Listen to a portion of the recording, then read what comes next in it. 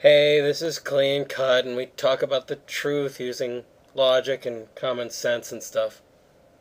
This season, we're talking about the four last things death, judgment, heaven, and hell. This time, I thought we'd discuss hell. What is it really? Hell is the destination of those who reject God. This is a choice they make during their lives by deciding to act contrary to His will in grave matters and to not repent.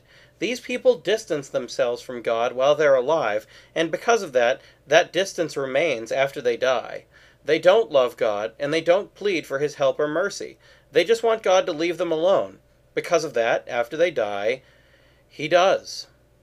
The problem, which many of these people fail to see, is that only God is the source of goodness in their lives, and only God can save their souls from an eternity alone without goodness.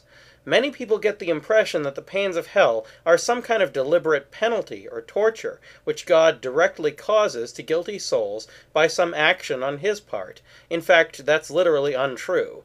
The pains of hell are a natural consequence of abandoning the only source of goodness that there is, in the same way that the pains of a 50 foot drop are a natural consequence of walking off a cliff.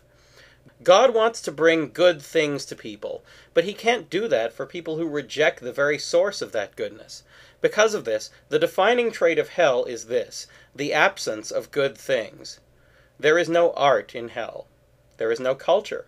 There is no science, math, or philosophy. There is no rock and roll, no alcohol, no physical pleasure. Despite all the jokes people make about the theme song of hell, there are no songs there, no poems, no creativity, and no freedom to design, produce, build, or escape. All of those would be good things for which the presence of God is required. Think of anything that isn't evil or is in some way good or enjoyable by its nature. Hell lacks every last one of those things, with one exception. There is one good thing, and only one, that hell has existence. Hell exists, and that's all. Existence is the most basic and important of all good things, because without it no other goodness is possible, not even life. However, for those in hell, existence only leads them to greater suffering, since there are no other good things for them to enjoy, not even enjoyment itself. There are no physical or metaphysical good things in hell aside from this. Yes, there are demons there as well, and the company isn't pleasant, but it's the lack of anything good warmth, hope, joy, trust, satisfaction, expression, and so on which is the main characteristic of hell, and the main reason why even the demons of hell are never happy or satisfied. Hell is not a kingdom for them to rule, it's a place of suffering for all of them, even Satan himself. When you build a dam over a river, the water can't get through. In the same way, when you block out Almighty God, goodness can't reach you. That's what hell is all about.